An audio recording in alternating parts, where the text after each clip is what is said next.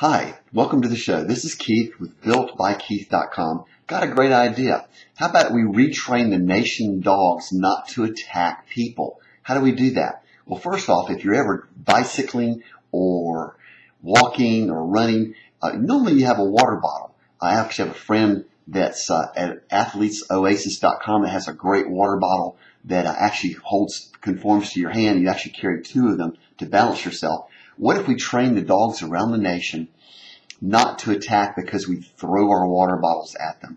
Uh, we could use a phrase like, oh, stop bottle, uh, that would be ingrained in the dog's head that every time they heard that, boom, they'd get hit with a water bottle. Just an idea. I have a website called attackdogsback.com. It's a way we can get back at those mean, ugly dogs. Welcome to the show, Keith.